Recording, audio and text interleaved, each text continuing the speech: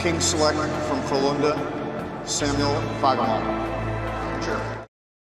Well, Fagemo is an interesting pick. Last year he was passed over in the draft. He played with Frölunda in the SHL, which is the Swedish men's league. He was a dynamic player. He was tremendous in the playoffs with this team. He won the championship there. He also played in the Champions Hockey League. He averaged just over, just under 14 minutes of ice as a 19-year-old on the best team in Sweden.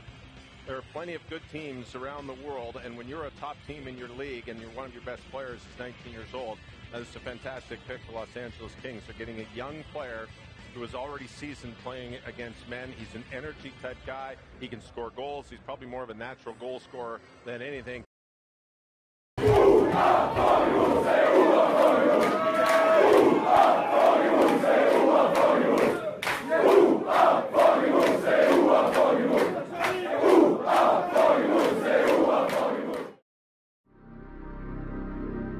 Samuel Fagemo's strongest attribute as a player is his shot.